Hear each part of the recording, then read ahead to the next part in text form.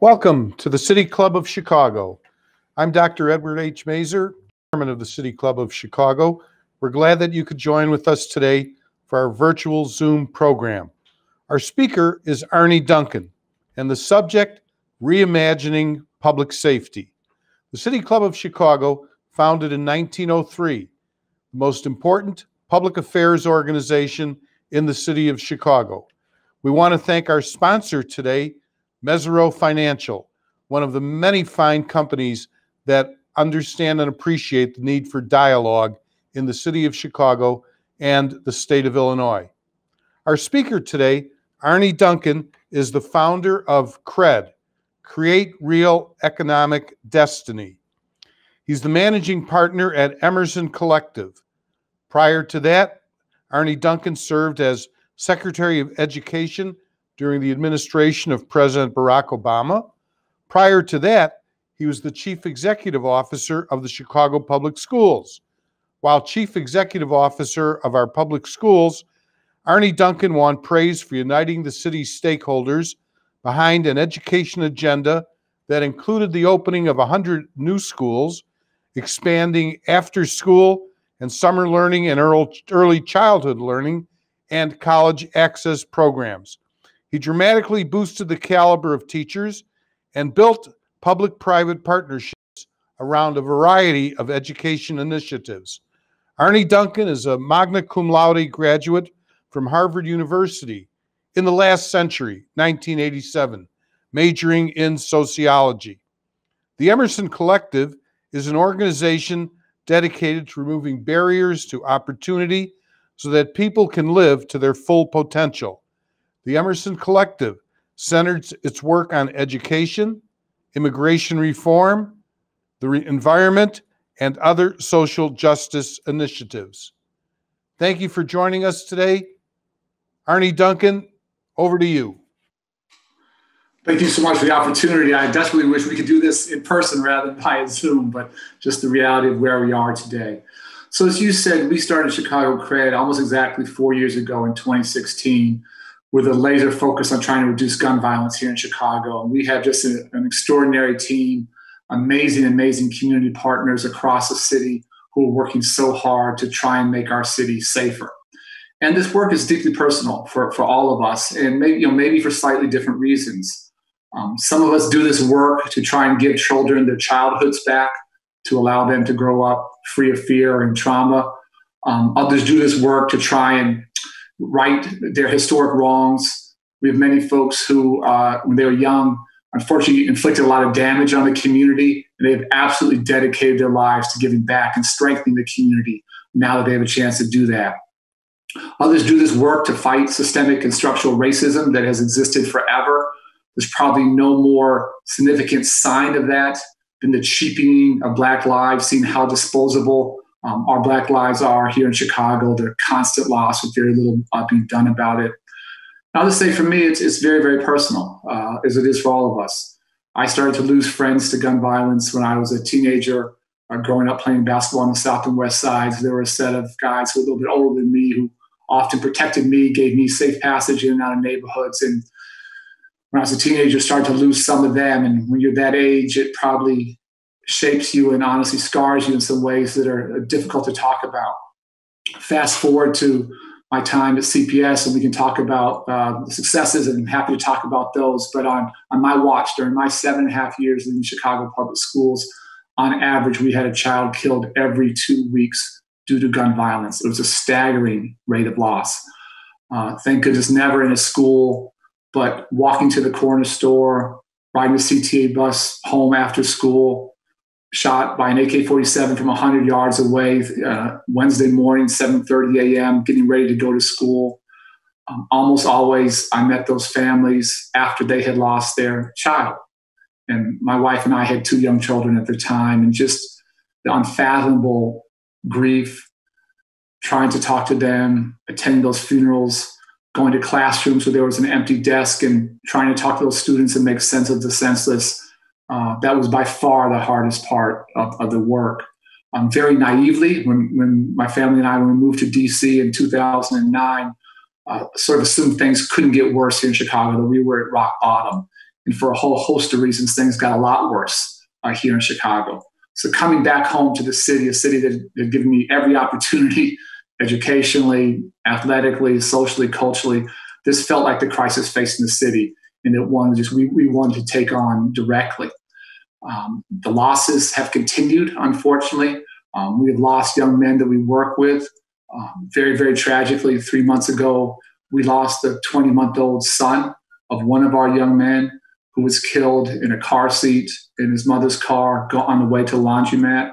Um, we all deal with trauma. We all deal with extraordinarily difficult situations and heartbreaking loss. But that one was different uh, for me and for all of us. Um, I've never seen a casket that small. Um, I've never seen a baby that peaceful and that still sitting in a casket. It's a sight none of us want to see again. Don't want to experience that again um, seeing that young father, devoted father, that young mother, extraordinary mother, seeing their unimaginable grief, um, we have to do better as a city. We owe it to our, our, our neighbors, to our citizens. Uh, we owe it to ourselves. We have to get to a better place. And so that's what this work is all about. Second point I want to make is that we do this work with tremendous humility. Um, we are making mistakes every single day. We are learning hard lessons every single day. Um, we don't begin to have all the answers. Uh, I'm going to raise some, some ideas here, open to feedback, open to pushback. Um, but we all have to recognize one, that we can't do this by ourselves. And two, very importantly, none of us, none of us are doing enough now. We're not winning. Chicago is not winning now. We have to collectively move to a better place. And then finally, I'm going to walk through a slide deck before we get to a, an interview, a video interview with, some of our team that's doing such extraordinary hard work. So we're going to go through a lot of numbers and a lot of data. But I really want you to understand throughout this, remember throughout this, this is a deeply, deeply human story. Um, this is not about stats. This is not about numbers. This is about real lives. This is about mothers who have lost multiple sons. This is about mothers who have lost sons and grandsons. This is about children who have lost fathers. This is about fathers who have lost children. This is about a level of trauma that people are growing up with due to multiple losses across the South and West sides that's almost unimaginable. And we say all the time that hurt people hurt people. The amount of hurt that our children um, on our South and West sides are, are experiencing today is unbearable. And we have to help them heal. We have to create a, a safer climate. We have to create an environment when they can just be children, when they can go to the park and play, when they can just give, give, give them their childhoods back. And that's what this work is about.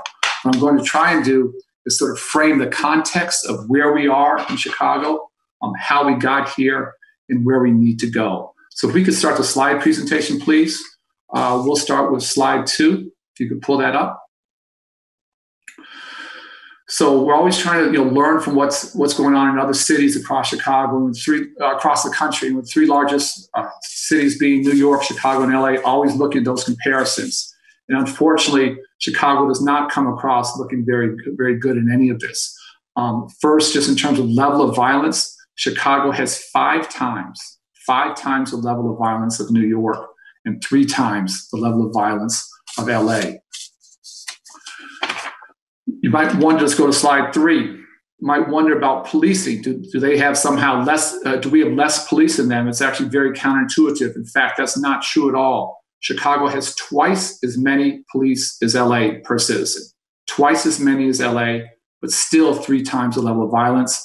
Almost exactly the same number of police per citizen as New York, but five times the level of violence. That's where we are today. If we go to slide four, let's look at the historical trends. Um, for a long time, going back over 100 years, levels of violence were, were relatively similar between the three cities. But once you get into the, uh, the late 1990s into 2000s, New York and LA were able to significantly reduce the level of violence in their cities. While here in Chicago, we have absolutely struggled to do that. If you go to slide five, there's something called the clearance rate, which I'm obsessed with. It's the percent of crimes that get solved. And so much of the violence here is driven by retaliation. One group, one clique loses somebody. They don't see justice in the traditional systems, and then they, they uh, go to street justice. So the clearance rate is the percent of homicides that get solved. And we're going to talk about homicides throughout this, this uh, presentation. very clearly, Chicago, again, despite having significantly you know, more police than LA, same amount of police as, uh, New York, um, we just simply don't solve those those homicides. We don't solve those those murders at anywhere near the rate of the other cities. And unfortunately, that in and of itself is a driver of increased violence here in Chicago. If you go to slide six, just sort of stepping back, looking at this from a broader perspective, talk about mass incarceration, whether that's made, made us safe or not. The United States has less than 5% of the world's population, but a quarter of the world's prison population. Think about that. Less than 5% of the, of the world's population, a quarter of the world's prison population. So clearly, if mass incarceration made us safer, the US would absolutely be the safest country in the world. And we know that's not true. And I think the same corollary is true here at the local level for Chicago that if more police made us safer, Chicago would be the safest city in America. And unfortunately, that's not true either. Let's dig into the Chicago story a little bit. Let's go to slide seven. And Chicago, as we all know, is a, is a city of, neighborhoods, of amazing neighborhoods. Um, while this gun violence issue is an issue for the entire city, it is also highly, highly concentrated. So 80%, 80% of the violence takes place in 15 of Chicago's 77 neighborhoods. Most of the victims are young black men between the ages of 16 and 32, and the profile of both the perpetrators and the victims of gun violence um, are the same. It is often literally the exact same person caught in these cycles of violence. And so, uh, with our team Chicago Cred, and again with amazing community partners across the city, we've concentrated our efforts on those 15 neighborhoods uh, where we see the, the most violence. If we go to slide eight, these numbers may uh, may really stun you. And again, for me, this is not just about trying to save money by any stretch. This is about trying to reduce trauma, increase safety, give children their, their childhoods back. But the cost, just the, the financial cost of violence in our city is staggering. Um, according to the Boston Consulting Group, that's done some amazing work in this space. Um, just this year alone, gun violence has cost Chicago uh, more than $3.5 billion. Every single homicide in Chicago cost our city about $1.5 million. Um, and non fatal shootings uh, cost us significantly as well. And these are just hard economic costs. When you talk about loss of revenue, we talk about people fleeing the city, we talk about less tourists coming to Chicago, we talk about the reputational hit that Chicago has taken nationally and internationally, the cost would be much higher than this. So, if for no, no other reason um, besides all the other things, uh, of just trying to do the right thing economically and financially for our city, the status quo is simply unacceptable. As I said, if we can go to slide nine, we started this work in 2016. And uh, we have two metrics homicides and shootings. Our, our scorecard is very, very simple. And for three consecutive years, uh, 2016, we started was a horrific year. Um, earlier, the, the Laquan McDonald uh, video had finally come out, out after being covered up.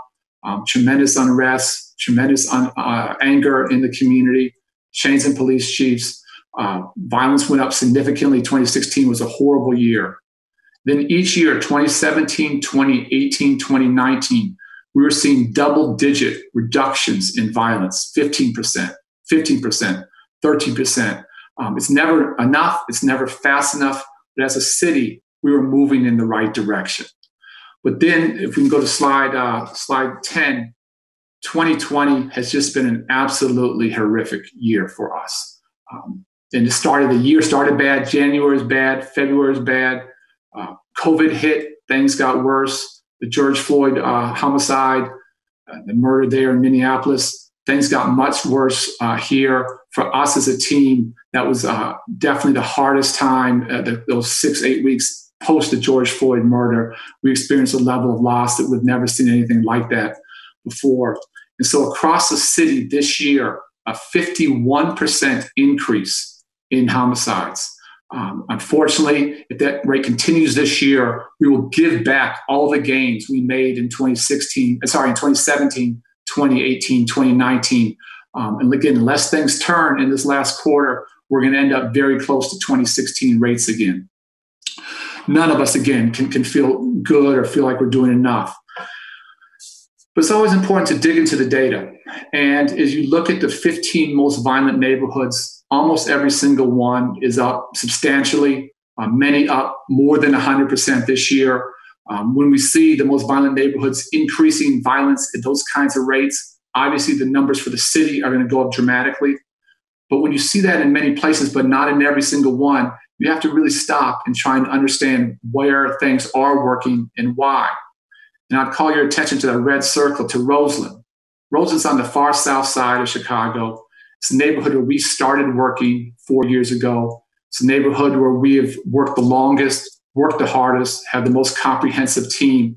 And that neighborhood this year, despite the pandemic, despite the unrest and anger after the George Floyd murder, that neighborhood is down 33% to date um, compared to a city that's up 51% in terms of violence.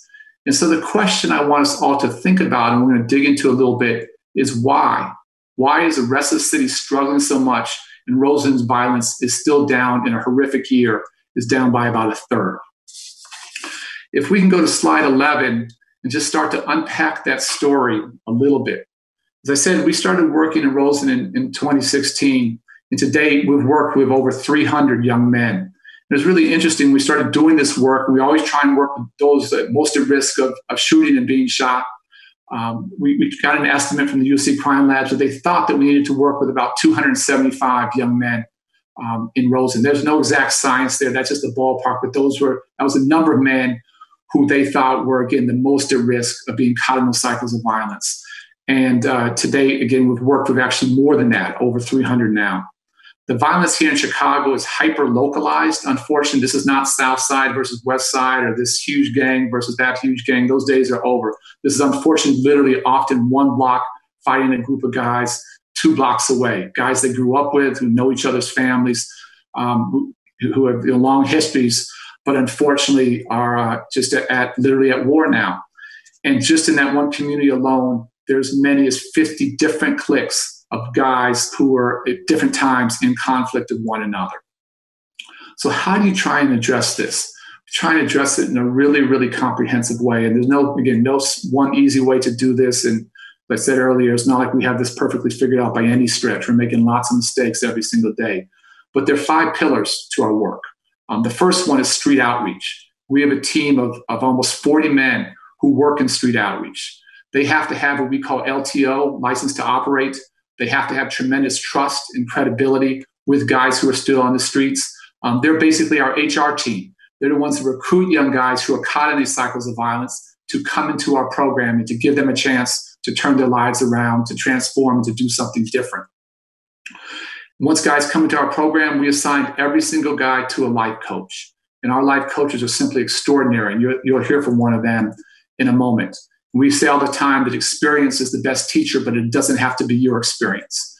And our life coaches, not all, but many of whom unfortunately served uh, many years uh, in prison, have come out and have devoted their lives to giving back to young men, to giving them a chance to live better lives, to not make the same mistakes they did. Um, some of our life coaches, unfortunately, because of the time they served, lost the opportunity to, uh, to be a parent to their own children. Um, and now, because of their paternal instinct, have a chance to be to be father figures uh, to our young men um, who are coming into our programming. Third is our clinical team, which is led by, by Dr. Tyler. And it is just extraordinary the work they do. Um, I can't overstate the level of trauma that our young men are dealing with. This is not post traumatic stress disorder, it's not post anything. This is present, this is current. And for many of our, our young men, um, it's been basically from the day they were born. Um, it's not like life was perfect until 15 or 16 and somehow the wheels came off at, at that point. I have so many different stories I could tell you, but one of our young men told me that his earliest memory, his earliest childhood memory, was of his father shooting heroin. Um, that's what he remembers from childhood.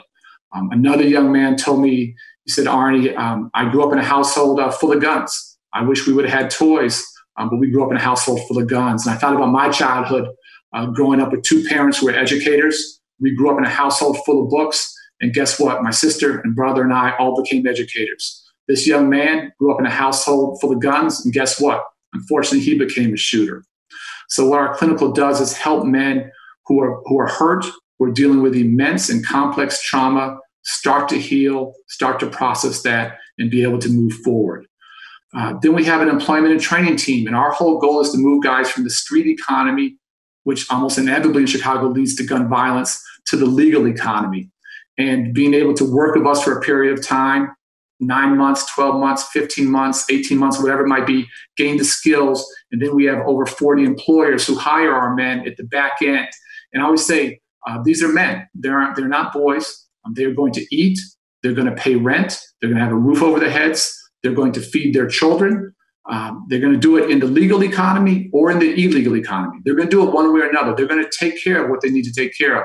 It's up to us in the broader society decide which side of the street they're going to work on. And again, having employers willing to hire our men at the back end, um, not out of charity, um, not for any reason like that, because they want the kind of talent and resilience and commitment that our men bring and work ethic our men can bring to their place of work um, is so critically critically important. And then we have an education team, and we've had over 100 men across the city receive high school diplomas um, we had a, a drive-through high school graduation, this new uh, world uh, South Shore Cultural Center just a couple weeks ago, and the depth of emotion there from our young men, from their loved ones, many of whom never thought they would get a high school diploma. Some of whom unfortunately dropped out of school before they even went to high school. It's not just a piece of paper, it's the credential. It's them starting to see themselves in a very, very different light and know what's possible. Um, that's that's been extraordinary ballpark cost of what we're spending each year um, through you know philanthropic support is about $10 million a year uh, in, in Roseland. And the work is not just on individual transformation, it's how do we reduce the conflict between those groups.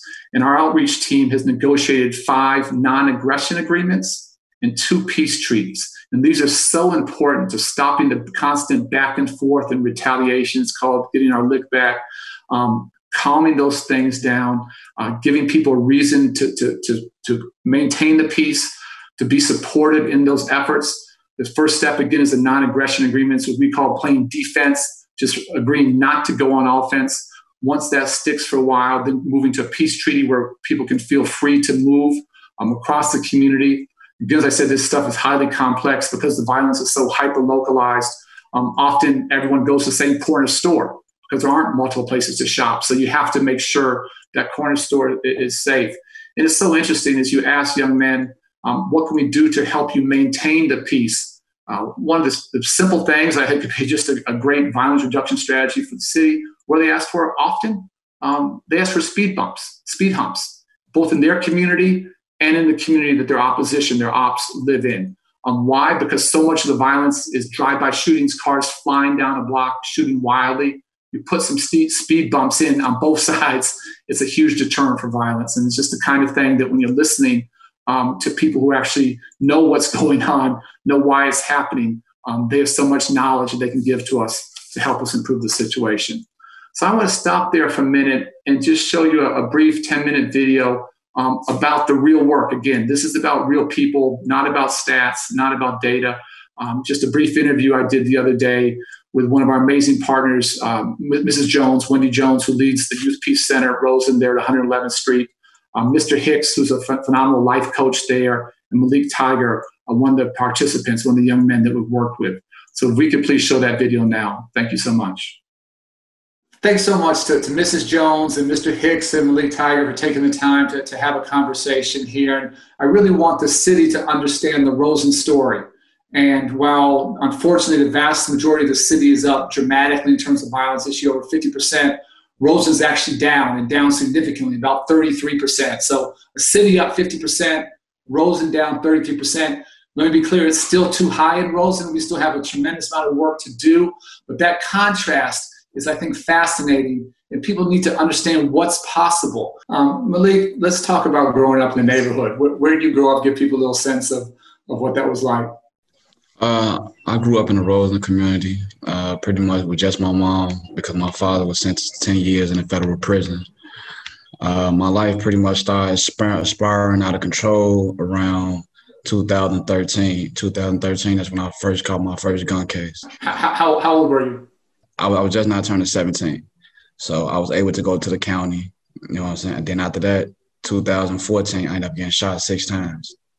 I got shot in my head, my hand, my back, my shoulder. You know what I'm saying? And then from there, it was really downhill, going back and forth to jail, playing with guns, robbing. How how do you find YPC, or how, how did YPC find you, and what was that transition like? It gave me a whole 360 turnaround, far as how I looked at things, far as how I went about things, and like far as how I just like it it it opened my you know I'm saying mind to other things and showed me it probably is another way. All the different pieces of the work we, we do, what was the most helpful for you? What was the what piece that really, you know, was the most impactful as you went through this transformation? Uh, the life coach. Like, Explain why. Why? Because like, like like I said, my life coach was six, so I could really relate to him on many different levels. You know what I'm saying? Um, on a like a normal level, I can relate to him to a street level. Like, you know what I'm saying? Like I looked at him as not, not even gonna say as a father, but this is my, you know, my big brother, you know what I'm saying? My extended big brother, you know what I'm saying? Like, and he got your back. And I, I feel like the nights that I was calling his phone, I feel like the, the more, the hands-on thing, that's what did the most for me. Mrs. Jones, you and your husband have run the Youth Peace Center there at 111th Street for, you know, over two decades you live in Roseland, you live on, you know, you've had stuff on, on your block. Why do you do this work? Why are you so committed um, to, to your community? I am concerned about every child. It hurts me. It's painful to, to see someone being misused or just a lack of opportunity for uh, one opposed to the other uh, it's very easy for me to to wrap my arms around a young person and just show a little tenderness, a little kindness, a little love. We need consistency. We need ongoing services and support, and we need a lot of people that really care about people that are willing to put their arms around them the way my husband and I and many members of Chicago Cred does. We need that across the city. It's really about having the resources, the services, and the people to connect young people to them. Some may argue that there are services in other communities, maybe, but when a young person don't really don't know how to get connected to those services, it doesn't do anything. It doesn't do anything for them. So it's almost like life coaches are almost like um, conductors. You know, we we help lead them to the resources and services, and then we also teach them how to use them and this be a support system as they're trying to redirect their lives. Every community needs that. Explain to the audience, we, a lot of different pieces, a lot of different components of our work. We have the outreach teams, we have the clinical team to help guys work through trauma. You have the, the work team, you have the education team, you have the life coaches. I'm coming to Mr. Hicks in a minute. But sort of explain what we're trying to do holistic, holistically. What are those pieces when they add up? What do they mean for young people and for the community? I'd like to say that the first number one piece, and I think that we've all been very successful with, and that's building a relationship. Young people are not going to deal with anybody that they don't have a solid relationship with, and they feel like the person trusts uh, them, they trust the person, and they feel that there's a genuine interest in their well being. Um, and that, you know, everyone cannot do that. I'm, I, it brings me. Um, a lot of joy and it and satisfaction to see that we have such an amazing team that can really uh, not only extend the services to them but really interact with the young people so that they're utilizing the services to make change. And there's so many different pieces. Again we talked about the outreach the life coaches the clinical team the education team uh, the employment training team, but but I can make a pretty compelling argument that maybe the most important part is are the life coaches, and that's what Mr. Hicks does all day, every day. You, you come from the streets, you've been through a lot. Um, you can relate to these young guys' experiences in ways that in ways that many can't. But tell tell the audience a little bit about what, what you've been through. Um, so so of course I've been incarcerated um, um altogether um, probably over 15 plus years, um, four different occasions. Um, a lot of trials and tribulations. I actually, it's ironic that I, actually a lot of the trouble I got into is probably two blocks from where I'm working now. Um, and it, it, just feels it just feels good uh, right now to be able to um, get up and have a job. How do you start to build relationships, start to build trust with, with guys who have every reason to not believe you, to be cynical, to you know just not not give you the time of day? How do you break through that cynicism and skepticism and build relationships? So, so, so the key is um, lead by example. Period. Like, I can't tell a, a Malik Tiger you can't be outside. You shouldn't be outside carrying guns when I'm straddling the fence. One thing about these young men, they'll do a background check on you as well. they'll figure out where you come from, uh, what you was about, and then now they see me. You know, I got a business card. Uh, I'm, a, I'm, a grandfather now. Uh, um, you know, I just love like this is therapeutic for me. I don't know if people understand that, but uh, this job is my therapy, right? This keep me from even thinking about relapse. One place we went uh, that I'll never forget was when we went back to Cook County Jail, Mr. Hicks, where you you spent a whole bunch of time and talking to the guys there in, in Cook County. What, what was that like to, to go in and then to to come back out together? So, so um, out all these years I've been in trouble, I'm always going through the back door of Cook County Jail, strip search, all that. So, um, I only said we're gonna go to the county and talk. So I actually walked in, where staff walk in, which is kind of like a real weird feeling.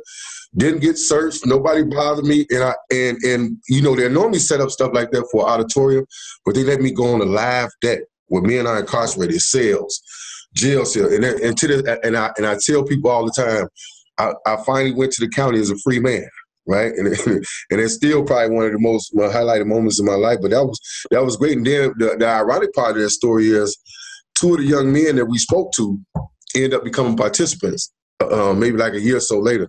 So that was that was probably one of the, the biggest highlights of, of my life. Um, Malik, tell the audience what you're doing now. Uh, what I'm doing now, I'm working at the Greater Chicago Food Depository. I actually just had a, a newborn son. Uh, I have my own apartment. You know what I'm saying? I'm doing good for myself. I'm trending. Malik, tell again if we if we were able to do this in 14 other neighborhoods, if we had 15, 20, 25 Mr. Hicks in Garfield Park, in Austin, in North Lawndale, um, in Englewood, how would our city change? Yeah, I feel like it'll change tremendously, but I feel like at the end of the day, change had to come with within first. You have, you have to get tired. You you have to look yourself in the mirror and be disgusted with who you is.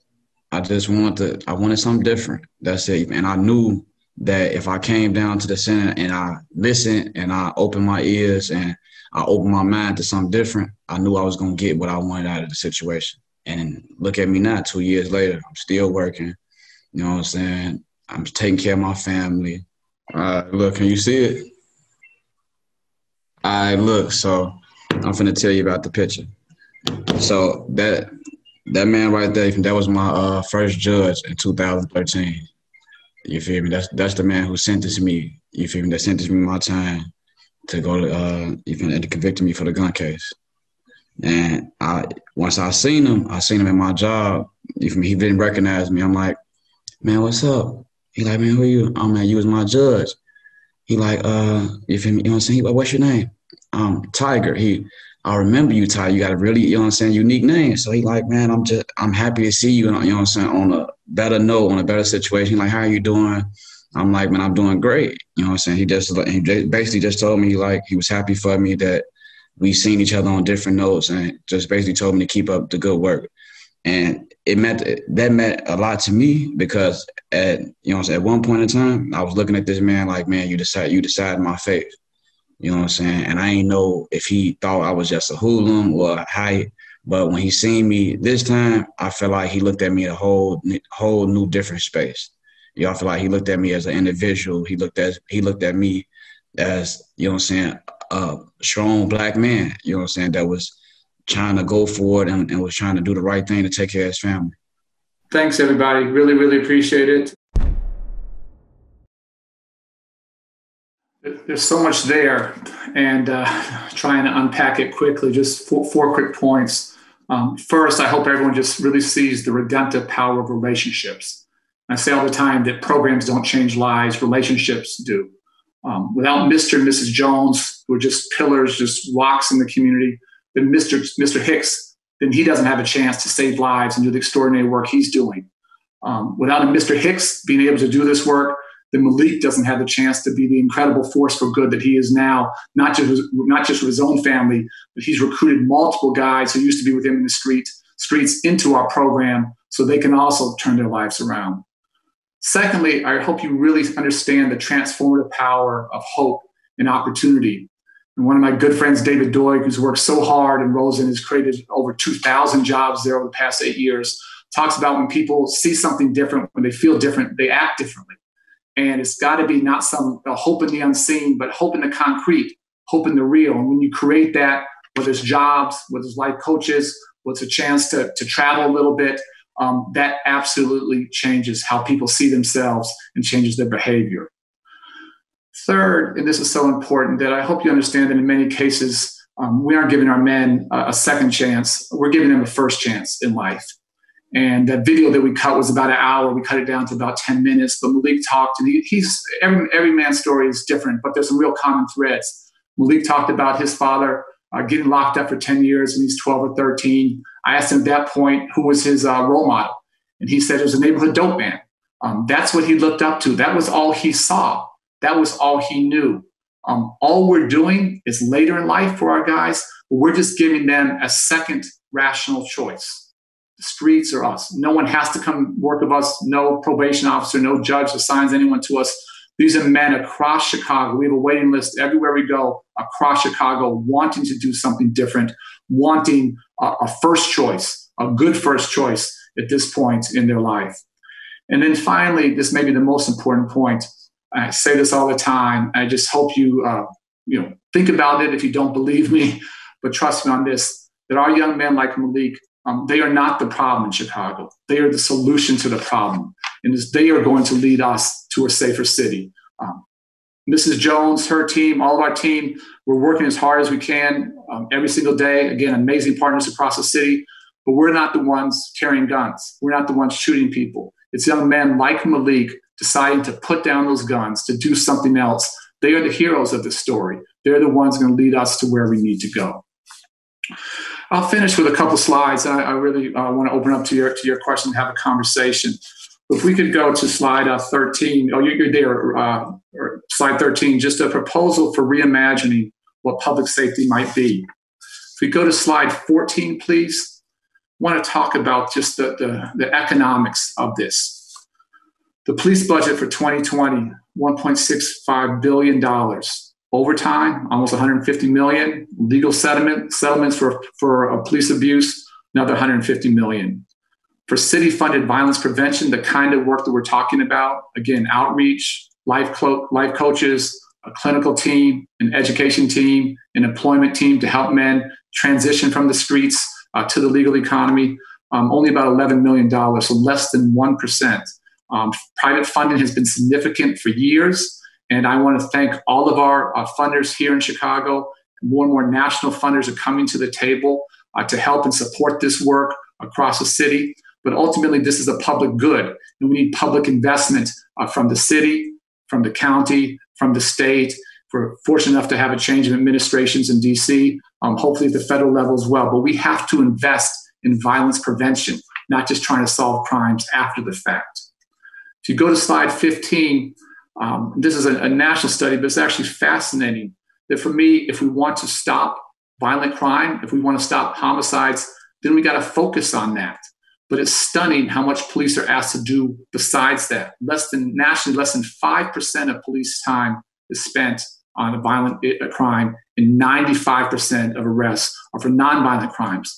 Those numbers may or may not be exact here in Chicago, but when you think about what's really important and then actually what we're spending time on, there's a tremendous mismatch there that leads to the level of violence we have.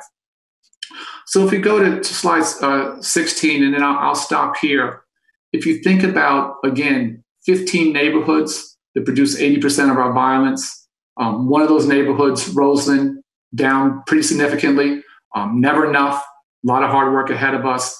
But if we wanted to do investment about uh, of about $10 million in Roseland, if we wanted to replicate that in the other 14 neighborhoods, you're looking at an investment in ballpark, you know, 150 $200 million every single year to try and reduce uh, gun violence, to try and create greater public safety.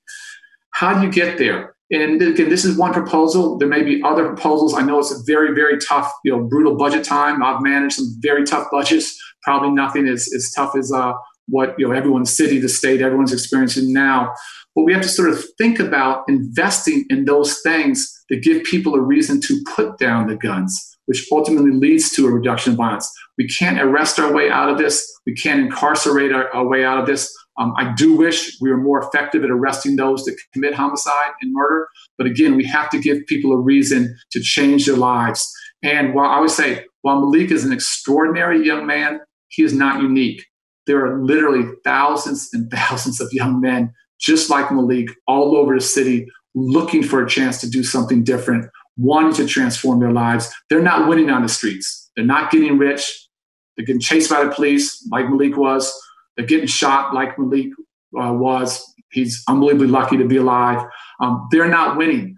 They're just stuck in a vicious circle, a violent circle, and can't get out. We have to give them a, a way to get out, a path out. And if we do that, the vast majority of guys, the overwhelming majority of guys will meet us will meet us halfway. So if we were, you know, to get just one proposal, open to other suggestions, other ideas, but if we were to have a, a few less police officers, um, we could actually invest in more outreach workers, more mental health clinicians, more life coaches, more folks doing job, job training, more educational teams. Allow those officers to do their actual job, to focus on the, on, on the real violence not worry so much about mental health, not worry so much about families that might be homeless and needing a meal, not spending time on those things that are important. Let other folks do that. Focus on reducing violence uh, in the city. If you look at the cost of a police officer, those nearing the retirement age might be $200,000, $250,000 with, with benefits. Um, conservatively, if a thousand positions were left unfilled, that could generate that 150 to 200 million dollars um, that we would need to sort of build these kinds of teams through nonprofit partners, churches, social service agencies um, across the city. Uh, 13,000 police officers here in Chicago. Right now, there are currently 846 vacancies uh, in the department. Um, open to other funding sources, uh, wide open to hearing other thoughts, but just trying to think about a way to come at this as a city and to scale what works. Um, what I learned working in the Chicago public schools what I work, learned working in the U.S. Department of Education, that when you find something that's working, um, we can't be satisfied with little pilot projects. We have to take to scale what works. And if putting these kinds of supports, these kinds of wraparound services, this, this kind of love um, around our young men across the city, if that could lead to a reduction of violence of 30, 40, 50%, if we could do that two, three, four years in a row, um, we could be in a very different place uh, my final statement and open up to your questions that this is obviously a really, really dark and challenging time uh, for our city and for our country. But in the midst of the darkness, um, I'm actually wildly hopeful. I'm actually really, really optimistic. And it's not, again, some hope in the unseen. My hope is based upon watching every single day for the past four years young men like Malik choose to put down the guns, choose to transform their lives, not overnight, over time. We have good days and we have heartbreaking days. But I know what's possible if we invest in them and give them the supports and resources and love they need to lead us to a much safer city. Um, I'll stop there. Thank you so much. I look forward to your questions. Thank you, Arne Duncan, and um, thank you to uh, Malik Tiger and uh, Mrs. Wendy Jones and her husband, and thank you to um, life coach Jason Hicks. We found that to be a most stimulating and interesting video that was produced. And now we have a number of questions. Uh, one that I would like to ask right off the bat, uh, Arne, uh, your proposal that we're going to be talking about advocates the potential of shrinking the CPD, the Chicago Police Department, through attrition and shifting the savings, hundreds of millions of dollars, into outreach, counseling, and alternative responses. So you are not saying eliminate and totally defund the police at all, as the way some people, in my opinion, have hijacked those terms and have literally scared the hell out of a lot of people. No, no, far from that. I think we should be very, very clear here. We desperately need the police um, while trust at the at the you know struck at the system level is frankly often broken between the police and the community. Um, we work with amazing, amazing police officers um, including last night, going back and forth with the police officers who's helping us in a very, very tough situation. So we desperately need the police. Um, what we're saying is that for every uh, dollar we spend on preventing violence, we're spending about $150 uh, on police. We just think that ratio is out of, rat, out of whack. And again, given the fact that per citizen, we have twice as many police as LA, and we're still three times more, more violent Again, same number of police per citizen as New York, five times more violent. Um, more police here hasn't necessarily made us safer. And so, what I think we all want is we want to increase safety.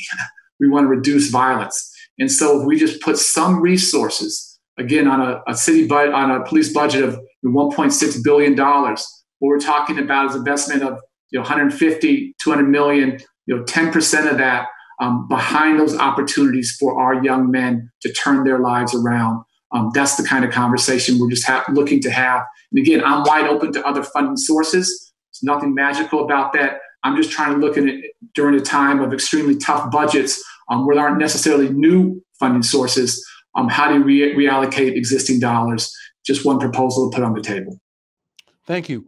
We've received several questions, including this one from Kevin Brown who says there's a lot of data that supports your approach, such as the Boston Miracle he mentioned, several others.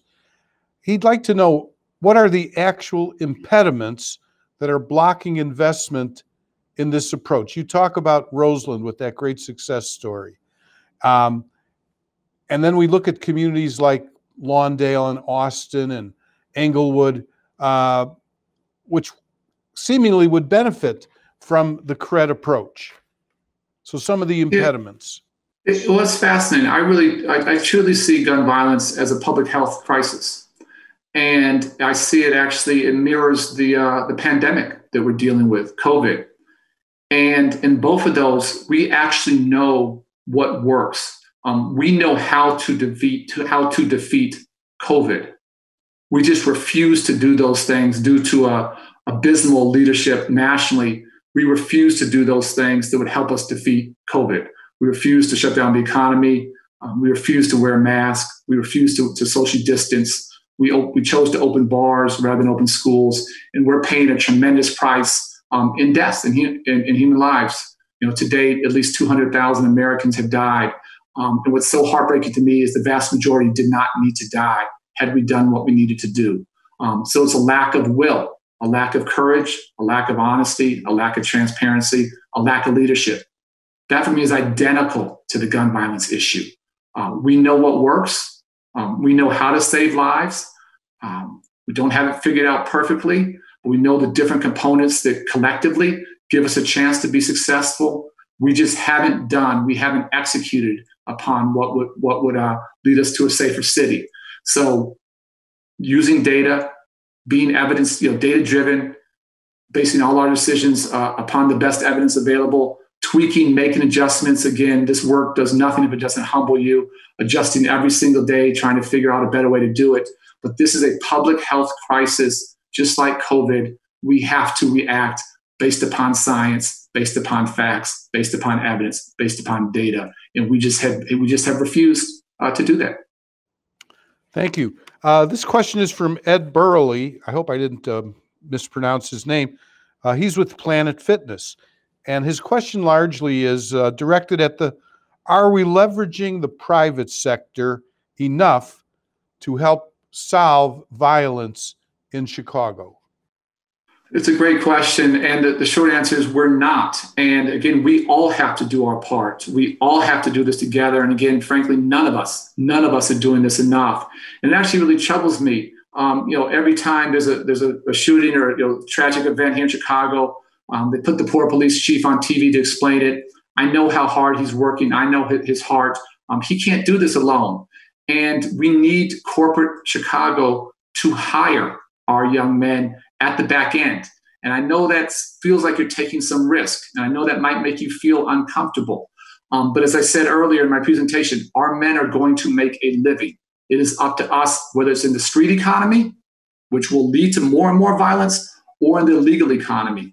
We have an amazing group of employers um, who have hired, we have men working in culinary, uh, in manufacturing, in hospitality, in healthcare. We have two of our men working for law firms downtown. We have one of our men working for Deloitte.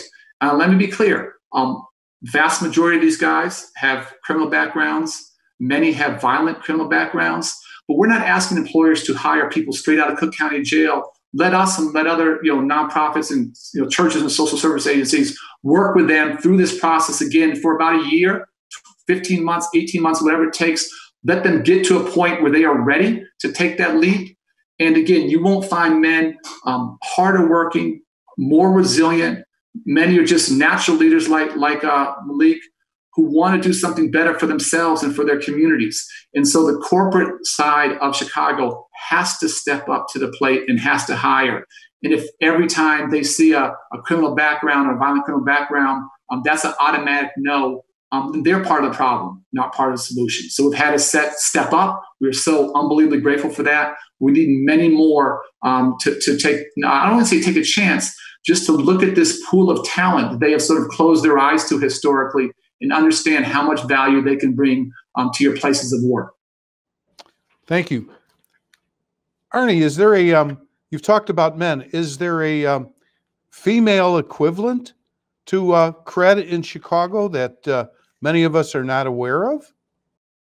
Well, we, we came to it late, and we have a small group of women we're working with in the Roseland um, area. We have an uh, amazing leader, uh, Nicole Muhammad, who's, who, who's leading that work. Um, we do have women obviously caught in these cycles of violence. And so uh, we had a, in our graduation just a couple weeks ago, we had three women uh, who were graduates. And we need to absolutely not just service women, but service the families of our young men. And they're going home every single day. And when home isn't stable, uh, when home is violent, then all the stuff we're trying to do during the day doesn't get reinforced in the evenings. Um, so we are doing some. We're, we're not, none of us are doing enough. Um, but we're in that space, both working with women and trying to work on the increasing the range of supports and services uh, we do for uh, for entire families of our young men. We're also trying to work with younger and younger. Uh, I wouldn't even call them men, you know, teens, because unfortunately, in too many communities, including Roseland, um, we have younger and younger kids who are caught in these cycles of violence, um, both as victims and as perpetrators. Thank you. Um, this is from uh, James Parsons. He says, I've heard you speak several times. This is by far the most informative and hopeful presentation I have heard. But he asked the question Can you tell us about some experiences in other neighborhoods where you have not been as successful and what failed that you haven't had to come to grips with in Roseland?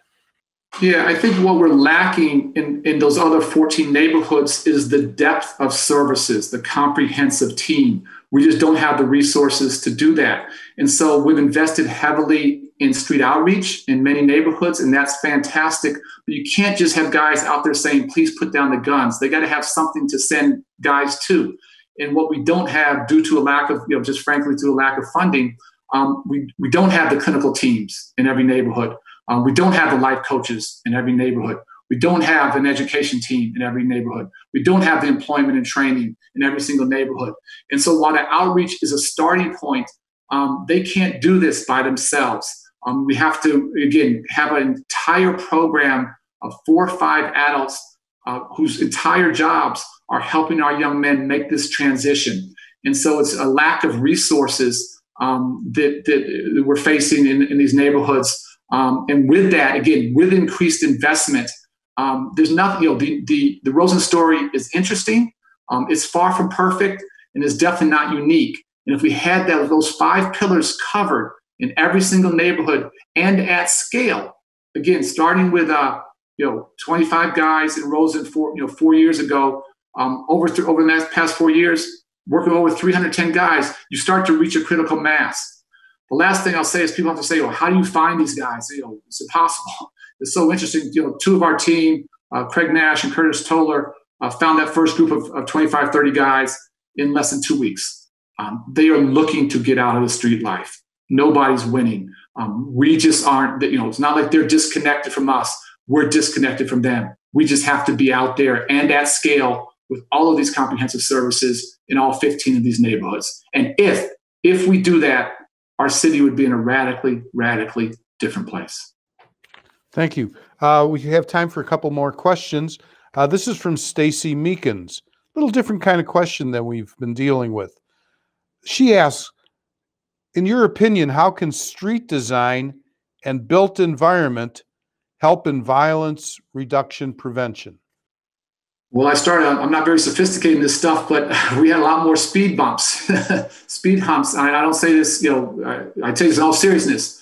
Um, that's what, when you ask guys what they need to maintain those, net, those, those uh, non aggression agreements, what they need to move from that to peace treaties, often, not always, often what they're asking for is speed humps.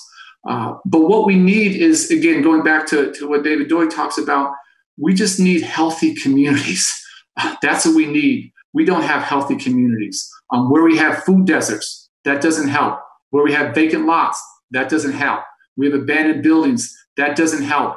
Um, where you have a sense of hope and possibility and things growing, um, that changes everything. One of the thoughts I've had is that you know we definitely have a, a shortage of, of assets in, in many of these neighborhoods, but the one thing we don't have a shortage of is abandoned buildings. Um, what if we did a, a, building program, a construction program, and built 2,000 homes on the south and west sides and used guys from the neighborhoods to help rebuild these homes so people could literally, physically, not just symbolically, physically see their neighborhood being rebuilt? Um, we know we've had a tremendous flight um, of middle class blacks out of Chicago directly because of this violence back down south. It's a reverse migration. If we could build homes, have guys from the neighborhoods help to build them, um, do housing subsidies, have families come back into these neighborhoods to stabilize them, um, that would be extraordinary. Again, we're in this death spiral. We have to work our way. We have to build our way out of it. That's that's a huge part of the story in Roseland. Um, some on the on the housing side, but on the jobs front, um, we've done a little bit with, with housing and construction. Um, many of our guys are handy. They've worked on stuff. They like they, they like the physical work. Sitting in the classroom all day isn't necessarily where they're the happiest. And so those are the kinds of things that we have to do. And I'll just push again, um, not just you know a couple homes, not one business, but do these things in scale. We have to invest in these 15 neighborhoods. Thank you. Uh, this question is from a City Club board member, Dan Gibbons. Your efforts and success have been incredible. Likely, we could replicate them around the country. Putting you on the spot, Arne Duncan, do you can you promise us and will you promise us that you will stay committed to Chicago and not return to Washington as the Secretary of Education? We cannot afford to lose you again. No, I, am a, I'm a Chicago boy and you know love the time in DC. But you know our family's you know very very happy to be here. And let me be clear, um, I don't think we're succeeding now. Far from it. Um, we set a goal at the start of this year to get below 400 homicides. Um, this is going to stun the audience, but we haven't been below 400 homicides in Chicago since 1965. Um, I was born in 1964. Um, that was our goal at the start of the year. And obviously, with violence up over 51% this year, we're not anywhere close to this. So we have so much unfinished business here in Chicago. We have so far to go. And uh, we've been at this for four years. I say all the time, we're making a million mistakes every single day. I can also promise you we're a lot smarter today than we were four years ago.